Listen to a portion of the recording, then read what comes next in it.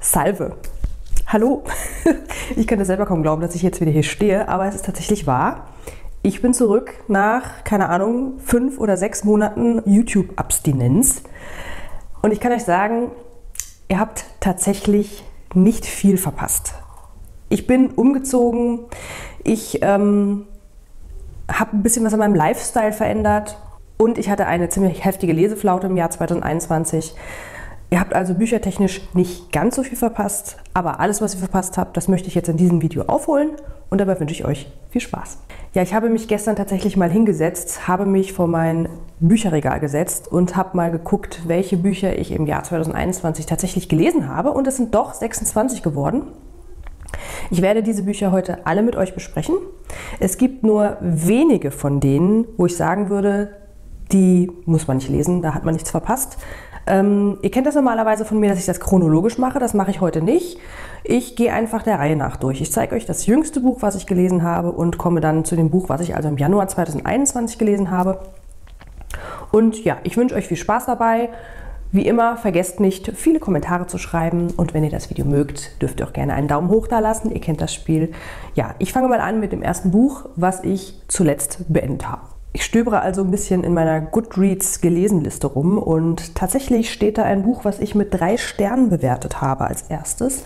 Und das ist von Ashley Audrain, Der Verdacht. Im Englischen heißt es The Purse. Finde ich übrigens das Cover auch sehr viel schöner. Ich habe ein paar Sätze auf Instagram dazu geschrieben und ja, das Cover ist eigentlich sehr passend für dieses Buch, weil ich fand den Schreibstil leider recht farblos. Zwischendurch waren aber immer so rote Horrortupfer, die diese ganze Geschichte dann irgendwie doch lesbar machten. Ich meine, ich habe es bis zum Ende durchgelesen und das ist bei mir immer ein Zeichen dafür, dass das Buch lesenswert ist. So will ich es mal grob in den Raum stellen. In diesem Buch geht es um eine Mutter-Tochter-Beziehung und zwar über mehrere Generationen. Ähm, wir lesen die Gedanken einer jungen Frau, das ist die Rahmenhandlung, die gerade frisch Mutter wird und sie spricht als Perspektive immer ihren Partner an. Ich fand das am Anfang etwas irritierend. Ich dachte, da steckt etwas mehr dahinter, tat es aber leider nicht. Das ist einfach nur eine besondere Form der Perspektive. Also ähm, es ist geschrieben im äh, zweite Person perfekt, meine ich. Also du gingst die Straße entlang. Ich finde das ein bisschen, ist ein bisschen ungewöhnlich, hat mich ein bisschen gestört, muss ich sagen. Ähm, was der Roman gut konnte, ist die ungeschönte Wahrheit der Mutterschaft. Ganz ungeschnörkelt, ganz ungefiltert einfach darzustellen, hat der Roman gut gemacht. Es gibt ein, ein paar Stellen, die ich mir markiert habe, ein paar Stellen, in denen ich mich wiederfinden konnte, aber natürlich auch Stellen, in denen ich das ähm, ein bisschen befremdlich fand. Was der Roman macht, wovon der Roman lebt, ist, dass im Grunde die ganze Zeit nicht so ganz klar ist, hat die Mutter jetzt das Problem oder die Tochter? Das Ganze funktioniert ja auch über mehr Generationen. Die Frage wird aufgeworfen, ob das vererbbar ist. Das, was das ist, stelle ich mal so in den Raum. Ähm, leider war diese Frage im Roman dann letztendlich nicht ganz geklärt. Das Ende hat mir aber recht gut gefallen. Mein Fazit dazu ist, dass dieses Buch hätte grandios werden können. Aber aufgrund eben dieses sehr monotonen Schreibstils, farblos, wie ich das nannte, und aufgrund ähm, dieser schrägen Perspektive, die überhaupt der Geschichte überhaupt nichts Gutes getan hat, ähm, war es halt, naja, muss ich da Abstriche machen. Also ich hype das nicht so ganz wie alle anderen.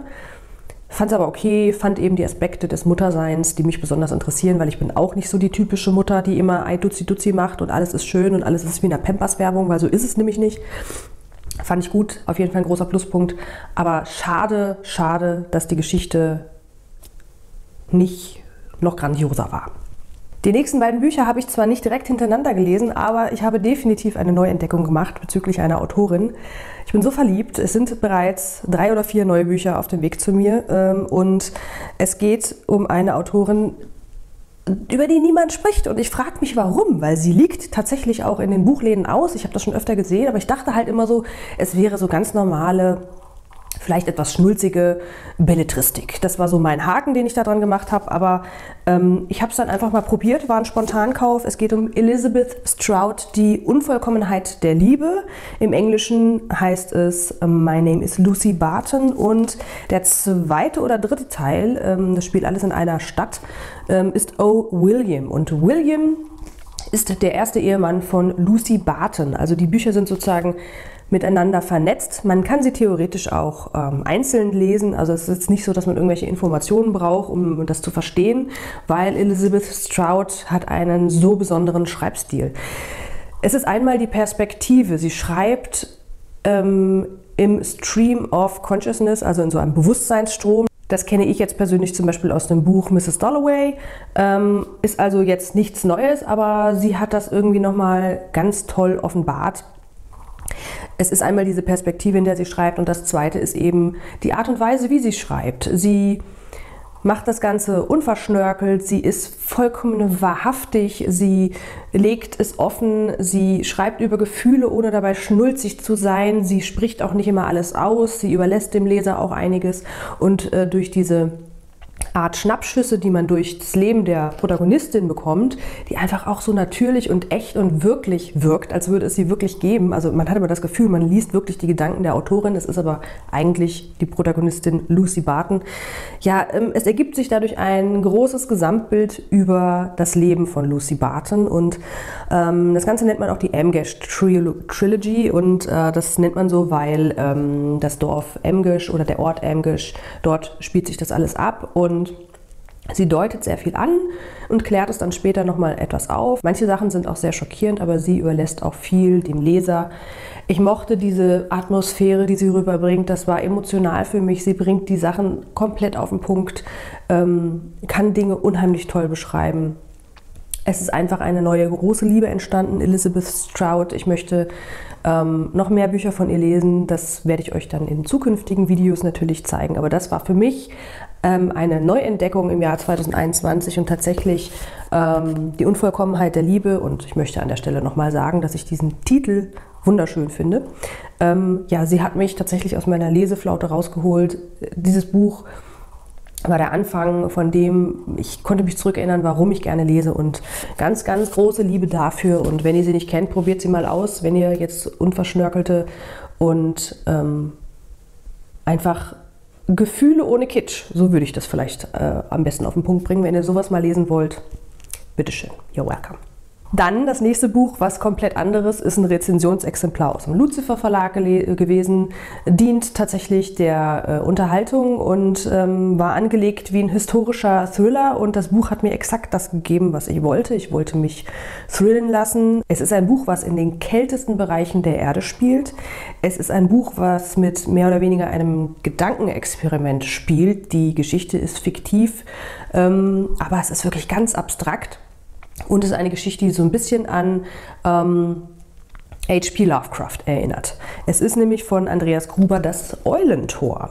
Mein erster Andreas Gruber gewesen, vielleicht auch nicht mein letzter.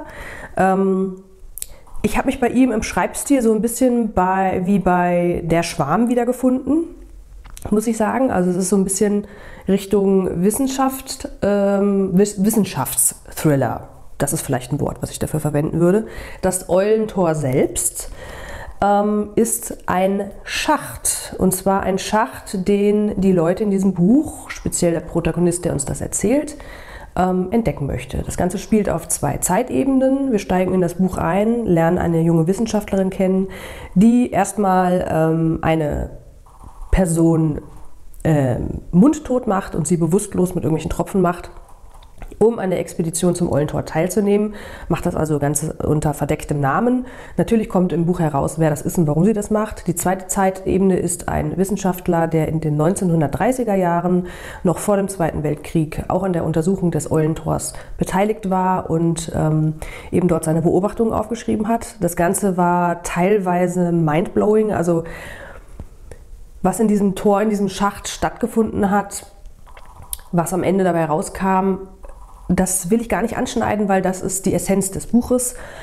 Ähm, das Ende ist nicht unbedingt komplett aufgeklärt. Ähm, es gibt aber ein Bild über die Situation ab. Ähm, die Schlussfolgerung, die der Protagonist selbst zu dem Ganzen macht, finde ich jetzt ein bisschen weit hergeholt. Aber ich fand das Buch einfach super spannend. Ich bin durch die Seiten durchgeflogen. Es hat mir Spaß gemacht, das zu lesen. Ich habe von dem Buch genau das bekommen, was ich erwartet habe. Und ähm, ja, Also wenn ihr Lust auf so eine Art Geschichte habt, äh, Antarktis, Eiszeit, wobei das ein bisschen außen vor blieb. Es geht halt wirklich primär um das Eulentor, diesen Schacht und die Gefühle, die die Protagonisten dabei haben und wie die alle zueinander stehen. Lest das. Viel Spaß dabei. So, ich halte wieder zwei Bücher in der Hand, weil die zwar völlig unabhängig voneinander sind, aber es ist von der gleichen Autorin. Auch eine Neuentdeckung, Wiederentdeckung äh, in diesem Jahr. Ich will ein bisschen dazu erzählen. Ich hatte das Buch von ihr schon mal angelesen. Damals hat mir aber die Sprache und das Setting nicht so ganz gefallen, deswegen habe ich mich dann entschieden, es nicht zu lesen. Es kam ein neues Buch von ihr raus, das habe ich dann gelesen und war auf einmal begeistert von dieser, von dieser deutschen perfiden Art und Weise, die Dinge zu sezieren, ist nämlich eine deutsche Autorin. Und deswegen habe ich mir das andere Buch dann auch nochmal vorgenommen, habe es auch durchgelesen und war da am Ende trotzdem begeistert. Es stimmt also nicht immer, dass wenn man Bücher anliest, dann den richtigen Eindruck hat. Es geht um ja, Daniela Green. Ich habe sie jetzt für mich entdeckt. Ich habe zuerst gelesen Die Liebe im Ernstfall. Hier geht es um mehrere Frauen, die im Grunde ähm, mitten im Leben stehen und ähm, es geht auch wieder um das Thema Mutterschaft, es geht um das Thema Dating, um das Thema Karriere und Familie zu vereinen, um das Thema ähm, sich selbst sexuell auszuleben als Frau. Ähm, für Männer ist das ja irgendwie normaler als für Frauen, habe ich manchmal so den Eindruck.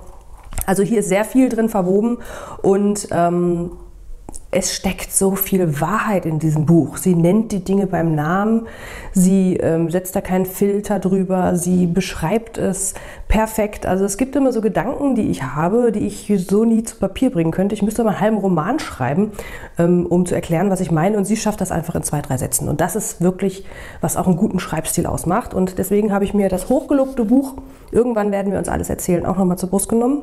Ich muss sagen, der Schreibstil hat sich eigentlich nicht verändert. Ich, wenn ich mich nicht irre, ist das auch eines ihrer ersten Bücher, wenn nicht sogar ihr Debüt. Es geht um äh, DDR in den, die DDR in den ähm, frühen 90er Jahren, also wo die DDR gerade aufgelöst wurde. Eine junge Frau ähm, lebt auf einem Dorf und hat einen Freund und lebt mit ihm mit in seiner Familie. Die Mutter lebt aber von ihr auch in dem Dorf. Und sie fühlt sich ein bisschen unter Druck gesetzt, unterschwellig, das wird nicht beim Namen genannt, aber so kam es für mich rüber, durch die ähm, Pflichten, die ihr als Frau und als Freundin ähm, einfach auferlegt werden. Und sie, gerade weil sie noch jemanden kennenlernt, der etwas ganz anderes in ihr anspricht, bricht dort mehr oder weniger aus. Was ich besonders gut an dem Buch fand, die Geschichte mag gar nicht so außergewöhnlich sein, ähm, was ich besonders gut an dem Buch fand, ist die Erzählweise, die hat sich total gesteigert. Also das hat Fahrt aufgenommen. Das Buch hat tatsächlich gerade in der zweiten Hälfte, und das schaffen die wenigsten Bücher, einen totalen Sog auf mich ausgeübt.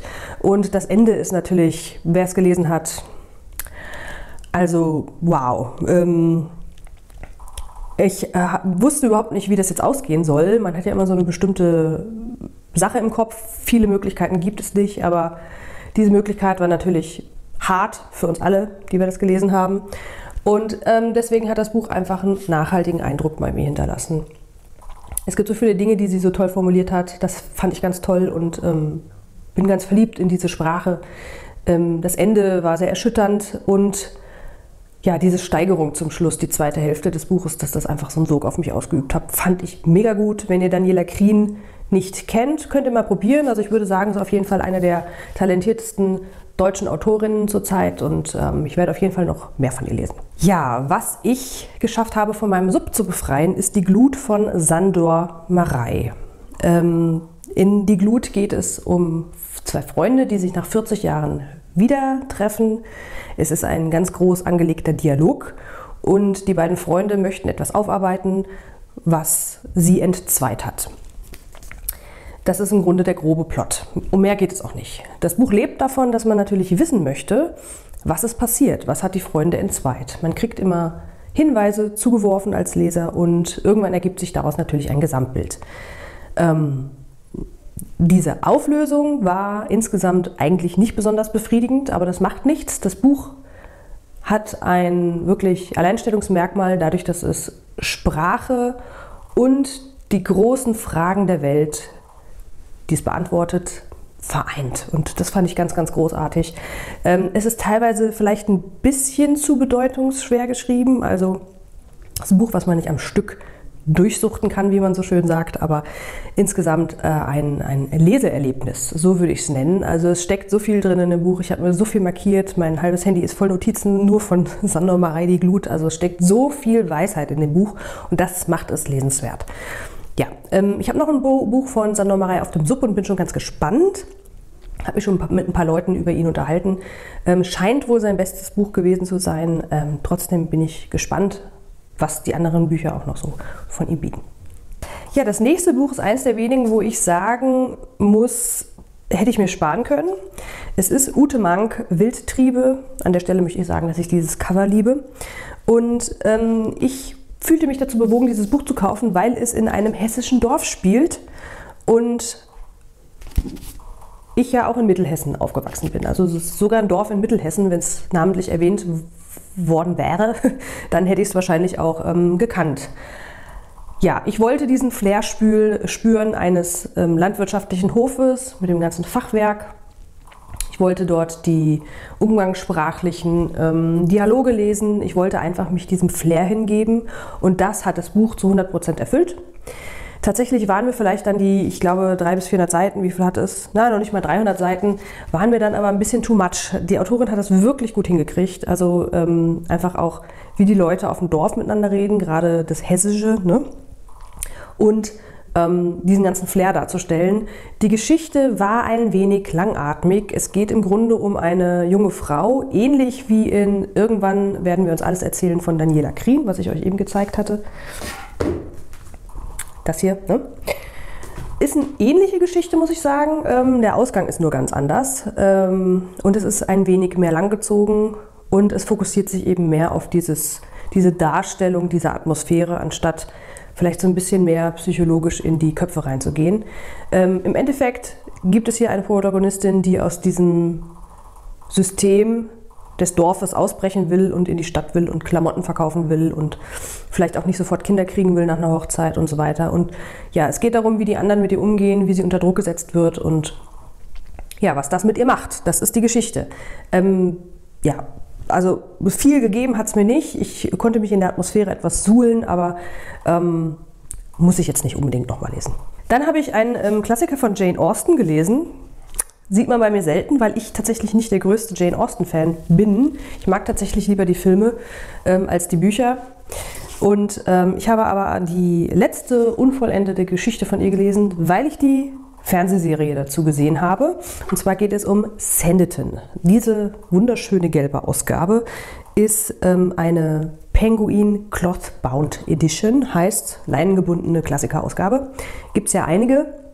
Und Sanditon ähm, in der Fernsehserie ist es so, dass die Geschichte ähm, weiter interpretiert wurde unter dem Aspekt, wie Jane Austen das vielleicht sich gedacht hat. Also man, ich, mir, ich war mir nicht ganz klar, wo hört jetzt Jane Austen auf und wo ähm, haben die Drehbuchschreiber ihren Anfang. Und deswegen habe ich die Geschichte gelesen, deswegen wollte ich es unbedingt lesen. Ich wollte herausfinden, wo stoppt das Ganze. Und tatsächlich stoppt es schon ziemlich am Anfang. Ähm, es begegnen sich zwei Charaktere. Jane Austen ist ja berühmt für mehr oder weniger Liebesgeschichten. Ähm, die zwei Charaktere ähm, sind natürlich sehr unterschiedlich und ähm, auch so ähnlich wie zum Beispiel in Pride and Prejudice hassen sie sich am Anfang sehr stark. Auch in der Fernsehserie kommt das sehr stark rüber. Also da wird sich angeschrien und keine Ahnung, dass die Fäuste nicht fliegen, ist eigentlich alles. Und wäre ich sie gewesen, ich sag euch, ich hätte mich in die Kutsche gesetzt und abgehauen. Also, nee, macht's aber nicht. Sie ist ein sehr starker Charakter. Die treffen sich an einem Seebad. Das Ganze entsteht, weil sein Bruder einen Unfall hat irgendwo auf dem Land und die junge Frau hilft dem Bruder, der sie daraufhin einlädt, eben Zeit zu verbringen in diesem Seebad. Und dort gefällt es ihr sehr gut. Sie arbeitet dort und entdeckt Talente an sich und so weiter. Und er ist der Bruder. Er taucht dann auf und die Funken sprühen und äh, ja, die Schwerter werden gezogen und die beiden hassen sich und wollen miteinander kämpfen. Können sich überhaupt nicht leiden, weil sie ist wirklich ein Gutmensch und er ist einfach nur ein A-Loch. Ne? So halt. Die moderne Interpretation eines Jane Austen-Romans. Ja. ja, ich mochte es. Es gibt noch eine zweite Geschichte hier drin. Ich weiß gar nicht welche. Genau, Lady Susan geht 70 Seiten, The Watsons geht 40 Seiten und dann kommt Sanditon. Ist alles nicht besonders lang. Aber ich wollte auch das hübsche Buch haben. Ich habe es gelesen. Alle Fragen sind beantwortet. Und ich hoffe, dass die Staffel 2 von Sanditon bald kommt. Ich vermisse die beiden nämlich sehr. Das Ende war furchtbar. Ja. Ganz Jane Austen und typisch. So, jetzt kommen wir zu einem fetten, schönen Klassiker. Ich habe mir eine wunderschöne Ausgabe von Fyodor Dostojewski Schuld und Sühne besorgt und habe das gelesen. Ist dieser goldene Buchschnitt nicht toll? Ich liebe es. Ja, uh, Dostojewski, es war mein erster Dostojewski. Ich weiß gar nicht mehr genau so, worum es geht. Also es geht darum, dass jemand jemanden tötet und wie man vielleicht im Titel jetzt entnehmen könnte, mit dieser Schuld sein Leben lang leben muss. Das dachte ich, das habe ich erwartet, aber tatsächlich ist es ganz anders, denn es stirbt jemand am Anfang und es ist auch jemand daran schuld, aber es geht mehr um den psychologischen Charakter bei der ganzen Sache. Und der empfindet überhaupt gar keine Reue für seine Tat, und zwar die ganze Zeit nicht. Und es ist mehr oder weniger wie so ein Thriller zu lesen, weil er in ständiger Angst lebt, dass er entdeckt wird, aber irgendwie dann immer drum herum kommt. Das Ding ist halt, er ist ein sehr angesehener Mann in der Gesellschaft und man würde ihm als Mensch das einfach nicht zutrauen, dass er das gewesen sein könnte, obwohl, wenn man mal um die Ecke denkt, er das der Einzige war, für den es möglich war. Zumal auch jemand gestorben ist, der jetzt keine gesellschaftlich hohe Anerkennung hatte und deswegen wahrscheinlich auch einfach ein bisschen ignoriert wird, was sehr schade ist und nicht in Ordnung ist natürlich. Ähm, ich bin tatsächlich sehr beeindruckt von der Psychologie, die Dostoevsky ähm, hier reinsteckt. Er ist sehr, sehr charakterfokussiert und ähm, sehr, sehr direkt in dem, was er schreibt. Ähm, ich kenne ja bisher von den Russen, glaube ich, nur Tolstoi. Und Tolstoi schreibt ganz anders. Er schreibt viel epischer und ähm, schreibt äh, über viele Familien meistens groß angelegte Geschichten. Und Dostoevsky ist viel pointierter in seiner, seiner Perspektive, ganz, ganz, ganz anders zu lesen. Ich weiß nicht, ob ich ein Fan davon bin, muss ich ganz ehrlich sagen.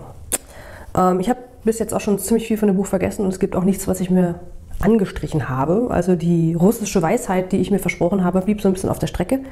Es ist tatsächlich für mich Unterhaltungsliteratur psychologisch sehr vielschichtige Unterhaltungsliteratur. Aber ich würde sagen, es ist für mich ein historischer Thriller, sonst nichts. Oje, ne?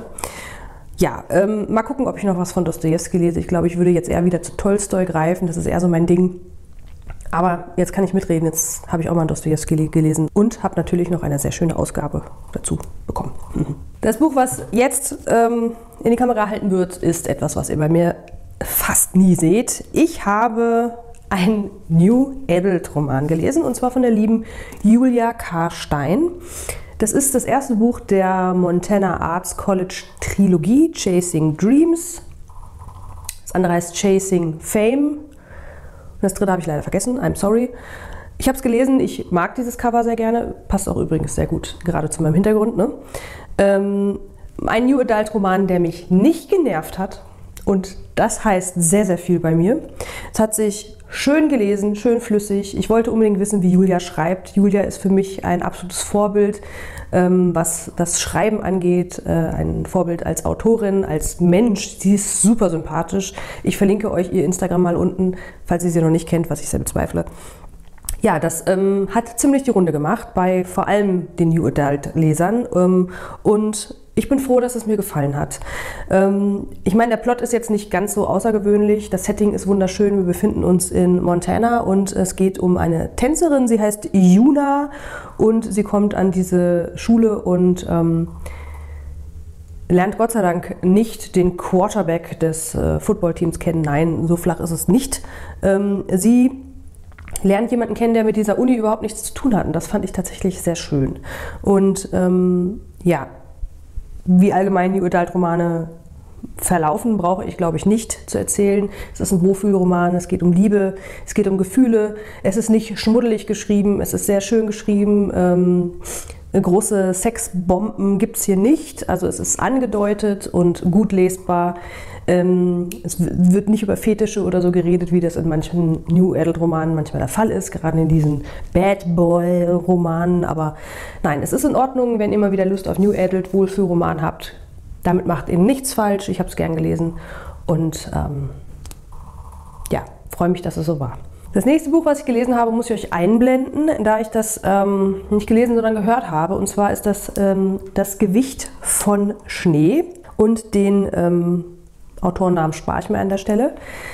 Ein sehr interessantes Buch. Es geht um einen jungen Mann, der einen Autounfall hat und in einem verschneiten Dorf Zuflucht findet. Also er wacht dort tatsächlich aus, dem, aus der Bewusstlosigkeit auf und ähm, die Dorfbewohner kämpfen ums Überleben und entscheiden sich, dass sie ihn in die Obhut eines mehr oder weniger Außenseiters geben am Dorfrand und dort ist er dann in der Hütte und in der ganzen Geschichte geht es um die Beziehung zwischen diesen beiden Männern. Es ist sehr, sehr angespannt, das Verhältnis zwischen den beiden. Also man weiß nicht, wie sie zueinander stehen und das große Ereignis, was kommen wird, ist, dass es eine Möglichkeit gibt, dieses Dorf zu verlassen. Also das spielt in einer anderen Zeit. Die Elektrizität ist dort nicht mehr gegeben. Entweder es gibt noch keine oder sie ist ausgefallen. Das weiß ich jetzt nicht mehr genau. Ähm, die Nahrung ist ständig knapp und ähm, die Menschen dort verharren in einer alltäglichen Routine die sie fast in den Wahnsinn treibt. Und genau das passiert eben bei diesen beiden Männern. Ja, das, was interessant war, ist, dass eben Machtverhältnisse sich auch ändern können. Und ab da hat die Geschichte auch nochmal so richtig Fahrt aufgenommen. Ich mochte viele Formulierungen in dem Buch, der Schreibstil hat mir gut gefallen. Ich fand das Ende sehr, sehr interessant. Ähm, es hat mich sehr zum Nachdenken angeregt. Ein lesenswertes, kurzes Büchlein ähm, und fand ich sehr, sehr interessant. Und ich muss auch mal gucken, ob der Autor noch andere Sachen geschrieben hat, die mich ansprechen. Ich gehe mal davon aus. Und äh, ich würde auf jeden Fall wieder was von ihm lesen. Es war eine interessante Geschichte und ja, war mal was anderes. So, ich muss mich jetzt ein bisschen sputen. Ähm, das nächste Buch von Janina Hecht in diesen Sommern, auch ein Buch, was ich mir hätte sparen können. Ich habe erwartet, dass es hier um ähm, die Sezierung einer Kindheit geht, um sehr destillierte Momente vielleicht und so weiter, aber es sind einfach nur Schnappschüsse aus der Kindheit und es kommt dabei raus, dass eben der Vater wohl brutal war, aber nicht viel mehr. Es, es ergibt einfach keine zusammenhängende Geschichte und der Schreibstil, der war sehr, sehr einfach. Also es gibt ganz kurze Sätze, es liest sich sehr monoton. Dieser Rhythmus, der dadurch entsteht, der ist eben sehr abgehakt. Also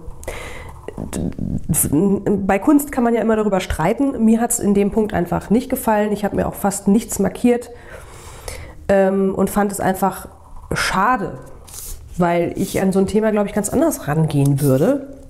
Ich fand es ein bisschen flach im Grunde. Das ist so mein Fazit, was ich sagen kann. Und hätte mir einfach ein bisschen mehr Tiefgang gewünscht.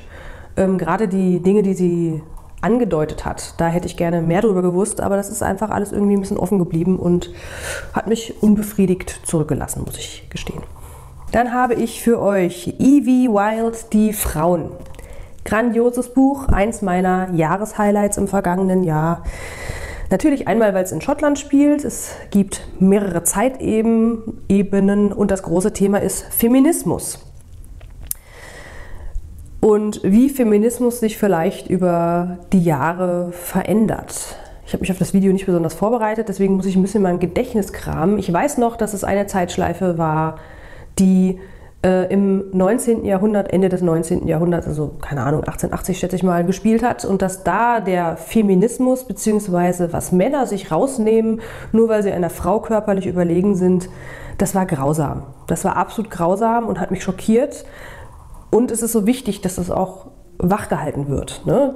Ähm, ein bisschen was hat sich ja mittlerweile getan. Es gibt, glaube ich, auch noch eine Frau, die in den 30ern, 40ern gelebt hat, 1930ern, 40ern, die wollte sich natürlich eher so ein bisschen ausleben, aber es wurde von ihr erwartet eben, dass sie das Muttchen am Herd ist und das wurde von ihr auch gefordert und ja, mit mehr oder weniger auch mit den Fäusten eingeholt, wenn ich mich jetzt richtig erinnere. Und die dritte Zeitschleife spielt in der Jetztzeit und natürlich hängen diese drei Frauen, die diese Geschichte erzählen, alle miteinander zusammen.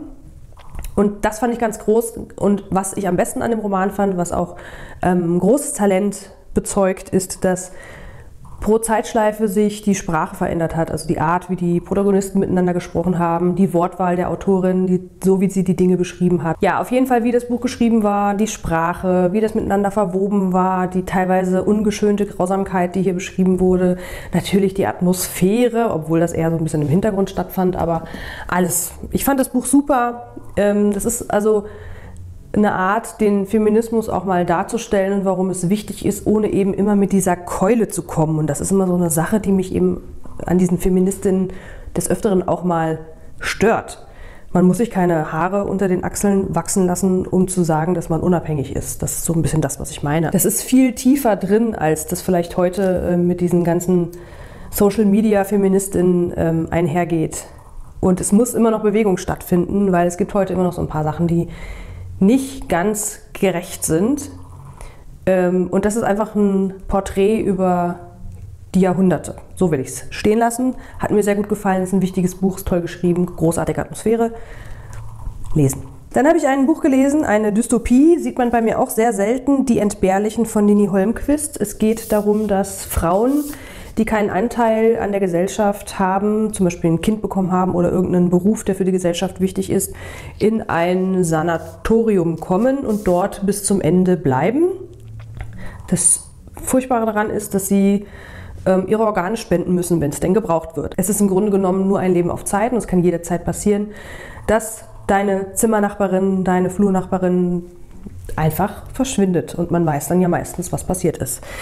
Ähm, die Sprache war ein bisschen einfach und das liest sich im Grunde wie so eine ich sag mal, günstig gemachte Science-Fiction-Serie auf Netflix. Trotzdem fand ich die Geschichte ganz gut. Es ist nämlich mal eine Dystopie, die so ganz anders aufgebaut ist als normale Dystopien. Ähm, tatsächlich entdecke ich mich gerade selber dabei, dass ich sehr viele Themen gelesen habe über das Thema halt das Frauendasein und auch in diesem Buch geht es genau darum, es geht um die Liebe, es geht darum, wie Dinge sich ändern und was man daraus macht. Das ist eigentlich die größte Frage in dem Roman, wenn die Dinge anders kommen, als man denkt und wie man damit umgeht. Und es hat mir gut gefallen. Es hat mir sehr gut gefallen. Es ist kein Buch, was ich jetzt herausragend fand. Äh, dazu hätte es ein bisschen besser geschrieben sein müssen. Aber die Idee war gut und die war ja teilweise ein bisschen flach umgesetzt, aber ähm, insgesamt noch lesenswert und okay und war halt auch einfach mal was anderes. Und das ist ja nun mal das, was ich auch sehr gerne mag. Ebenfalls ein Jahreshighlight von mir. Ach, in der Ferne Hernan Diaz. Dieses Buch spielt mehr oder weniger im Wilden Westen, ist aber kein wirklicher Roman über den Wilden Westen. Es geht einfach nur dort um das Setting. Es geht um einen Schweden, der mit seinem Bruder dort ankommt und die verlieren sich bei der Ankunft oder sogar bei der Abreise in die Vereinigten Staaten von Amerika. Und ab diesem Moment ist unser Protagonist alleine. Und das ist das Thema des Romans, die Einsamkeit. Und es gibt so viele Stellen, die mich so unfassbar traurig gemacht haben und die heute noch bei mir sind. Die ganze Atmosphäre, ich habe mich selber so einsam gefühlt. Nicht, dass ich das will oder dass ich das toll finde, aber dieser Protagonist hat mir so leid getan die ganze Zeit, weil er, ich weiß nicht, er hat irgendwie nicht richtig gelebt. Das ganze Leben zielte immer nur auf die Suche von seinem Bruder und es war so unbefriedigend und man leidet so mit dem Protagonisten. Auch die Sprache war, war ganz toll. Ich habe mir sehr viel markiert. Ähm, sehr viel epische Beschreibungen von inneren Zuständen, von äußeren Zuständen, davon, wie man das Leben sieht. Und ja, ich könnte, glaube ich, ganz, ganz viel über dieses Buch erzählen, aber äh, ja, hier steht drauf, so ein tiefgreifendes Porträt von Einsamkeit, wie ich noch keines gelesen habe. Und im Grunde genommen ist es genau das. Also wenn ihr euch in Melancholie suhlen wollt, wenn ihr die Essenz der Einsamkeit schmecken möchtet, dann ist das das Buch. Aber ich muss auch sagen, wenn ihr gerade nicht so gut drauf seid, das zieht einen auch runter. Ne? Also da muss man halt auch ein bisschen aufpassen. Mich hat das schon in so eine melancholische Stimmung gestürzt, ähm, aber ich fand es trotzdem großartig, auch wenn es sehr traurig war. Das nächste Buch ist ein viel besprochenes Buch, Die Farbe von Milch von Nell Lation, sagt man so, ich weiß es nicht. Ach, Schreibstil furchtbar, Protagonistin furchtbar, aber ich habe damals in meiner Rezension gesagt, dass auf jeden Fall ein Buch, was ähm, ein, eine Daseinsberechtigung hat. Es geht nämlich auch wieder um das große Thema, ich glaube, das wird das Thema 2021 bei mir, äh, die Unterdrückung der Frauen Anfang des 19. Jahrhunderts, ich glaube in England. Ich dachte immer, es gehe um eine schwarze Protagonistin und um Sklaverei. Nein, im Endeffekt nicht. Unsere Protagonistin hat ein Handicap und das Einzige, was sie tut, ist im Grunde für die Familie ähm, schaffen, auf dem ähm, Hof arbeiten, auf dem Feld arbeiten. Ähm, und das, was sie an intellektuellen Ansprüchen an sich selbst hat, darf sie natürlich nicht ausleben. Dafür ist kein, kein Platz in ihrem Leben. Durch einen Umstand kommt sie dann auf ähm, den Hof eines anderen Mannes, der ihr Lesen und Schreiben beibringt und ja, das fordert auch seinen Tribut. Die Protagonistin ist unendlich frech. Das treibt einen fast in den Wahnsinn. Sie ist so direkt und das war für mich fast schon ein bisschen unglaubwürdig und ich glaube, das finden, wenn es etwas zu kritisieren gibt, viele an diesem Buch auch unerträglich, verständlicherweise. Ähm, trotzdem ist es ein Buch, was ich glaube, ähm, jüngere Leute vielleicht anspricht und denen auch mal äh, das Verhältnis aufzeigt, wie das gewesen sein könnte früher. Und ähm, ja, ist ein Buch, was eine Message, Message mit sich bringt und deswegen fand ich es gut, auch wenn ich es schlecht fand. Auch wenn es keinen Sinn ergibt. Aber so war es nun mal. Dann habe ich gelesen Real Life von Brandon Taylor, ein schwarzer Autor und ein schwarzer Protagonist, beide aus Alabama und unser Protagonist geht an die Universität und denkt, er kann dieses ganze dörfliche hinter sich lassen und endlich frei leben. Aber was er merkt, was das Buch super rüberbringt, dass diese ganzen Mikroaggressionen, dieser ganze Rassismus, der in den Menschen doch zu stecken scheint, nach wie vor da ist. Bei Jungen wie bei Alten, überall unterschwellig immer da ist. Und das hat das Buch sehr gut rübergebracht.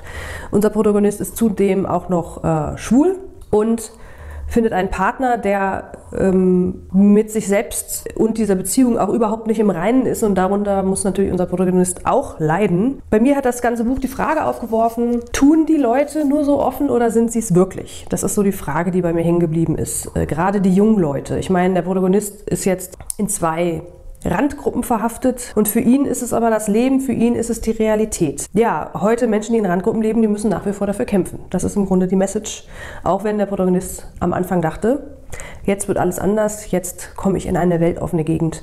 Es gibt, glaube ich, keine weltoffene Gegend und ich glaube, das ist das, was das Buch mir sagen wollte. Ja, ich habe immer noch ein paar Bücher hier liegen. Ähm, wieder eine deutsche Autorin, war auch nominiert für den Buchpreis. Ich habe gelesen Die Unschärfe der Welt von Iris Wolf. Hier seht ihr es mal äh, visuell. Großartige Sprache. Das Ganze ist auch ein ähm, schnappschussartiges Porträt einer Familie aus dem Banat.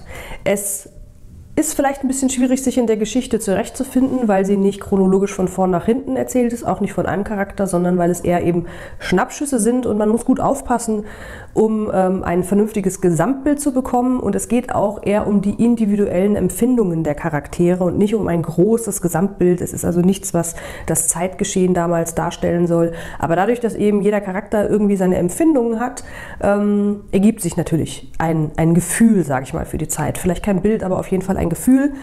Iris Wolf hat eine großartige Sprache. Sie hat dieses, dieses deutsche Messer scharfe, es genau auf den Punkt zu bringen. Das beherrscht sie super, ungefähr genauso wie Daniela Krien, was ich auch großartig finde. Manchmal mag ich das sehr gerne. Was deutsche Sprache kann, nicht nur kann, aber was deutsche Sprache manchmal kann und was eben ein paar Autoren grandios beherrschen, ist Schreiben abseits von jeglicher blumigen Art, von jeglicher Umschreibung. Ähm, es wird genau seziert, es wird exakt das richtige Wort gefunden, ähm, jenseits jeder Interpretationsmöglichkeit. Und das hat Iris Wolf auch geschafft. Und das ist so eine, so eine Kunst für sich, finde ich. Und das liebe ich in Büchern, ähm, Dinge zu beschreiben, ohne dass es einen Zweifel dafür gibt, was es gemeint ist. Und deswegen fand ich auch das Buch so toll, äh, die Geschichte nicht unbedingt, weil mh, mm, war vielleicht ein bisschen schwammig teilweise, aber die Sprache war großartig. Wenn ihr auf tolle deutsche Sprache steht, auf diese Schnittigkeit, dann ähm, könnt ihr auf jeden Fall mal dazu greifen und ähm, das werde ich auf jeden Fall nochmal lesen, weil ich einfach mich in diesen Beschreibungen von ihr baden möchte. Das nächste Buch habe ich tatsächlich in einem Video besprochen, das weiß ich noch. Sarah Waters, Selinas Geister, ein lesbischer Gothic-Roman, ähm, der ein Setting hat im ähm, Gefängnis, im Frauengefängnis. Das Buch lebt davon, dass die beiden Protagonistinnen sehr, sehr unterschiedlich sind. Es findet eine unterschwellige Erotik statt und irgendetwas undeutlich, ein undeutliches Rauschen ist im Hintergrund, was man nicht genau definieren kann, ähm, was im Endeffekt der Höhepunkt und das Ende ist. Man liest also die ganze Zeit so auf eine, eine Offenbarung hinaus. Ähm, ich fand die Atmosphäre großartig. Ähm, auch diese, diese unterschwellige Erotik äh, war interessant. Also es geht zum Beispiel darum, dass die eine Protagonistin den Namen der anderen aufschreibt. Und das in diesem Moment ist das was ganz Intimes zwischen den beiden gewesen. Und solche Momente gibt es da eben öfter. Und äh, fand ich sehr, sehr interessant. Ähm, es gibt eine ausführlichere Rezension zu dem Buch ähm, und das verlinke ich euch in der Infokarte. Oder neuerdings sieht man die auch ähm, unter der Schrift in der Infobox, unter dem Geschriebenen. Da könnt ihr dann die Videos auch sehen. Da verlinke ich euch das. Wenn ihr das interessant findet, könnt ihr euch nochmal genauer informieren. Dann habe ich gelesen von Bernard Cornwell, Enemy of God. Das ist Teil 2 der Artus-Chroniken von ihm, eine Trilogie. Ich bin nach wie vor immer noch im dritten Teil, ist auf meiner Currently Reading Liste. Ähm, Bernard Cornwell, wisst ihr ja, liebe ich wegen der Uhtred-Saga und ähm, er versagt von sich selbst, dass die Artus-Saga die beste ist, die er je geschrieben hat. Also nicht die Artus-Saga, sondern die besten Bücher, die er je geschrieben hat. Und das ist eine Neuerfindung, eine neue Interpretation der Artus-Sage ähm, abseits von jeglicher Hollywood-Romantik. Das Interessante an der Saga ist, dass wir das aus der Perspektive eines ähm, Kriegers von ihm lesen. Und das ist natürlich Bernard Cornwells Ding. Ähm, man verliebt sich auf kurz oder lang sowieso in diese Figur. Und ähm, Artus ist eigentlich mehr oder weniger nur so eine Randerscheinung, aber wenn er auftaucht, ist es immer episch und das liebe ich. Ja?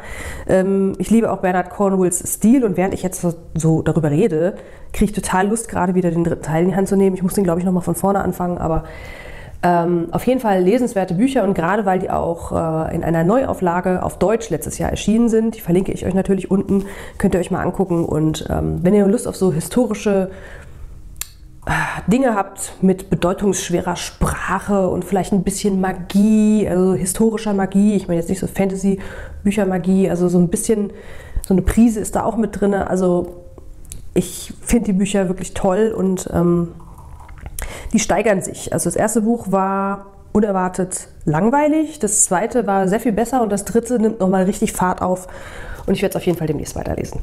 Dann habe ich gelesen von meiner Lieblingsautorin, einer meiner Lieblingsautorinnen, äh, Daphne du Maurier, Ein Tropfen Zeit.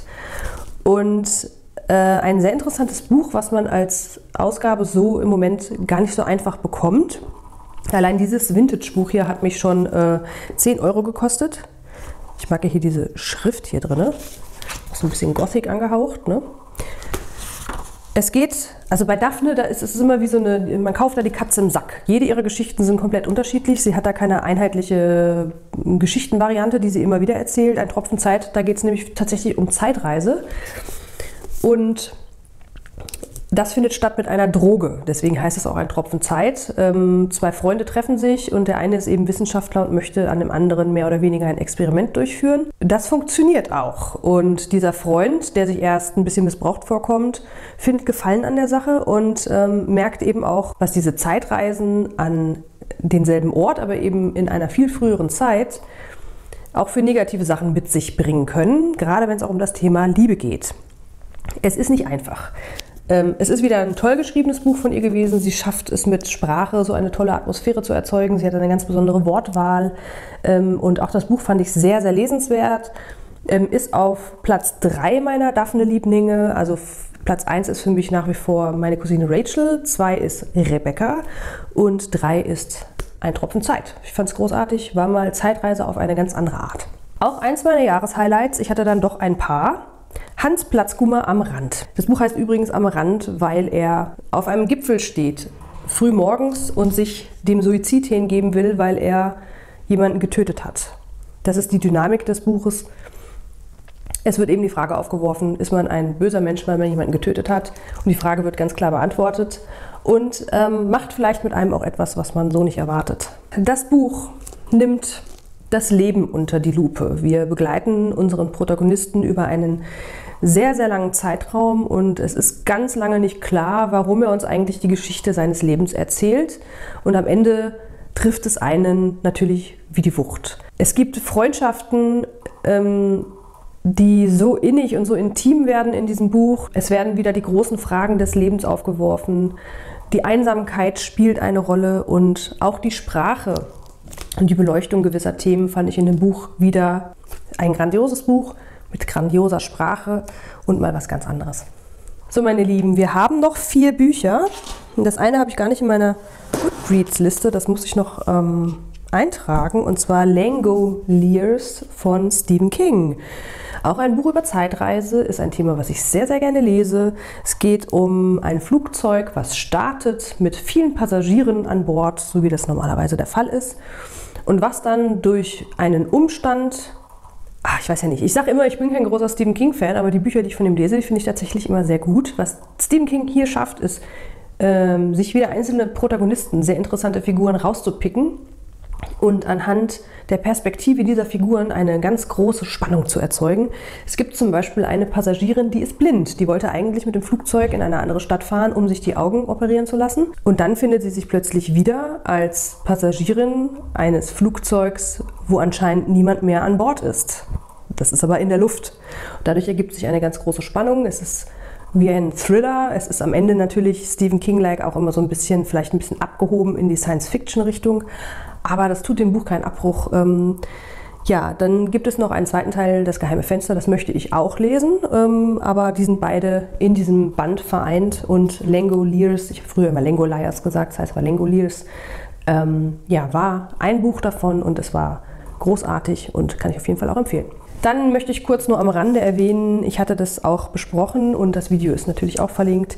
Ähm, Atonement von Ian McEwan war ein Reread im Jahr 2020. Ich hatte mir eigentlich vorgenommen, für das Jahr ungefähr keine Ahnung, acht oder zehn Bücher zu rereaden. Ich habe nur eins geschafft und ähm, Atonement hat mir beim zweiten Mal tatsächlich noch besser gefallen. Es gibt, bei Atonement ist es so, oder bitte auf Deutsch, ist es so, dass man es entweder liebt oder es entweder hasst. Es ist ein schweres Thema, es ist teilweise in der Mitte auch sehr lang gezogen, aber es geht um die äh, Liebe zweier Menschen und eine dritte Person, die aufgrund ihrer subjektiven Atmosphäre etwas ganz falsch einordnet und damit eine Katastrophe erzeugt. Und natürlich, wenn man das so liest, die Hoffnung ist immer da und man liest und man ist erfüllt, weil es dann doch schön ausgeht. Ähm, ja, aber dann muss man auch wirklich bis zum Schluss bei dem Buch lesen, weil das Ende ist entscheidend für die ganze Geschichte. Ähm, mich hat es damals kalt erwischt und eigentlich ist es schade, dass ich das erwähne, weil wenn man ganz unvoreingenommen an das Buch rangeht und mit gar nichts rechnet und einfach die Gefühle fließen lässt, dann ist es absoluter Hammer. Ansonsten, wenn man weiß, okay, da kommt jetzt noch irgendwas Großes, dann hat man diese Erwartungshaltung und dann ist das vielleicht auch gar nicht mehr so überraschend. Aber für mich war es damals so und ähm, deswegen war diese, dieses Erlebnis mit diesem Buch für mich so einschneidend und deswegen ist es nach wie vor eins meiner Lieblingsbücher. Ich habe noch weitere Bücher von Ian McEwan eine Zeit lang probiert. Das ist für mich äh, ein One-Hit-Wonder ähm, und äh, ja, leider waren die anderen Bücher nichts für mich, aber trotzdem, das werde ich auch immer wieder lesen und ich glaube, es werden immer mehr äh, Post-its dann in diesem Buch sein. Ja, aber das war auf jeden Fall ein Reread von mir. Ich glaube, das zweite Buch, was ich im Jahr 2021 gelesen habe, war Acht Berge von Paolo Cognetti. Das ist ein Buch, was natürlich in den Bergen spielt und von der Geschichte zweier Freunde erzählt. Die lernen sich in Kindertagen kennen. Es verbindet sie eine innige Freundschaft und dann entwickeln sie sich sehr auseinander und die Geschichte erzählt eben, was das mit diesen beiden Menschen macht. Ähm, ja, also es war lesenswert, das Buch. Ich muss aber sagen, es hat jetzt nicht den großen Eindruck bei mir hinterlassen. Ich weiß nicht, in welcher Zeit der Autor das geschrieben hat. Vielleicht, wenn er sich noch ein bisschen mehr Zeit gelassen hätte, dann hätte das vielleicht noch ein bisschen mehr Tiefgang gehabt. Ansonsten war das eine schön zu lesende Geschichte mit ähm, auf jeden Fall auch einer Message dahinter. Es war aber jetzt nichts Herausragendes oder Neues. Das ist vielleicht das, was mir ein bisschen gefehlt hat so ein bisschen das Neue über den Tellerrand hinaus, weil es von Freundschaftsgeschichten ja doch nun schon einige gibt und ähm, ne, was Neues beinhaltete dieses Buch jetzt nicht für mich, aber trotzdem war es eine nett zu lesende Geschichte. Das allererste Buch, was ich gelesen habe, was es sehr, sehr schwer zu bekommen gibt, ich habe jetzt nicht nachgeguckt, ihr könnt gucken, ob ihr unten in der Infobox unter dem Link was findet. Das ist von Carmen Riera, Der englische Sommer. Carmen Riera ist, ähm, ist das Männlein oder Weiblein? Ist auf jeden Fall spanischer Herkunft. Carm ist eine Dame, ist also ein spanischer weiblicher Vorname und es spielt in England. Das fand ich eigentlich so witzig. Es geht um eine ähm, spanische Immobilienmaklerin, die aufgrund ihrer unzulänglichen Sprachkenntnisse sich entscheidet, nach England zu gehen und dort über mehrere Wochen einen Sprachkurs zu machen, um ihr Englisch zu verbessern, weil sie eben einfach im Job dadurch bessere ähm, ja, Möglichkeiten hat. Genau. Das Buch ach, war ganz einfach geschrieben ganz interessant. Es hat mich trotzdem irgendwie angezogen und aufgesaugt. Es war keine außergewöhnlich hochtrabende, bedeutungsschwere, außergewöhnliche Sprache, die irgendwas erzeugt. Nee, die Sprache war einfach sehr funktionell und trotzdem ähm, aufgrund dieser Ereignisse, aufgrund des Plots eigentlich und aufgrund der Sachen, die dort passieren, hat das Buch einen Sog auf mich ausgeübt. Ich fand es großartig, es war ganz kurz und ich bin durchgeflutscht. Und ähm, diese Frau, die sie dort erwartet, die ist nämlich ganz anders, als man das erwartet. So könnte man das natürlich sagen. Ähm, und die Dynamik des Buches ist im Grunde die, dass man die ganze Zeit nicht so genau weiß, was jetzt Sache ist. Es passieren viele komische Dinge und wir kennen ja immer nur die Perspektive der Protagonistin. Und da stellt sich halt die Frage, ist das die, der richtige Blickwinkel? Ist das auch die Wahrheit sozusagen? Mehr will ich dazu nicht verraten, weil es halt auch kein riesig langes Buch, aber das Buch hat mich dazu ähm, positiv beeinflusst, Spanisch zu lernen. Ich lerne jetzt seit ein paar Monaten kontinuierlich Spanisch. Und mein Ziel ist es, dieses Buch, eben weil es diese einfache Sprache hat, irgendwann, ich hatte eigentlich April 2022 angesetzt, aber irgendwann dann auf Spanisch auch zu lesen. Bin mir nicht sicher, ob ich das dieses Jahr noch schaffe. Ähm, weil ähm, es doch sehr viel dazugehört, ein Buch auf einer anderen Sprache zu lesen. Da kann man nicht mal ein paar Wochen lernen und dann klappt das. Aber das hat mich auf jeden Fall angespornt und ich werde dieses Buch irgendwann auf Spanisch lesen, freue mich schon sehr darauf. Ah, fand ich lesenswert und ich hoffe, es ist wieder zu bekommen. Ich weiß gar nicht, warum das so schwierig ist. Denn ähm, habe schon viele gehört, die das gerne lesen wollen, es aber einfach online nicht finden. Ich gucke mal, was ich finden kann. So ihr Lieben, das Video ist zu Ende, es waren einige Bücher und ich hoffe, für euch war was dabei. Ja, das ist ja Sinn und Zweck, warum ihr das guckt. Ich hoffe, ich konnte euch ein bisschen inspirieren. Mein Lesegeschmack ist ja immer so ein bisschen teilweise ungewöhnlich, teilweise halt, ich will mal sagen, nicht kommerziell und das ist auch etwas, was ich für mich selbst wichtig finde. Ich mag halt keine Bücher, die, die es schon gibt die vielleicht irgendwie nur anders formuliert sind, aber ähm, das funktioniert auch. Also es gibt auch Geschichten, die kann man so schreiben, dass man das Gefühl hat, das ist etwas noch nie da gewesen, ist gar keine Frage. Also Schreiben ist ja eine Kunst. Ne? Und ich habe jetzt für mich entdeckt, die, das Genre, was ich immer Haute Couture nenne, nicht von der Stange. Das heißt in echt literarische Belletristik. Das ist das, was ich lese. Das habe ich jetzt auch im letzten Jahr herausgefunden. Ich lese sehr gerne Frauen anscheinend, womit ich nicht ausschließe, dass ich auch männliche Autoren lese. Ich meine, Bernard Cornwell ist ja auch nur äh, ein sehr testosterongeladener Schreiber Geschichten sind also immer sehr maskulin, also ausschließend tue ich das auch nicht. Aber irgendwie hat, hat die Damenschaft bei mir Überhang und ja, es ist halt so. Es ist einfach nur eine Beobachtung, es ist nichts, was ich mit Absicht gemacht habe.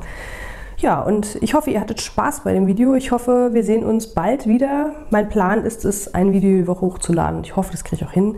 Ich freue mich, dass ihr so lange dabei wart und macht's gut. Bis bald. Bis zum nächsten Video. Bye.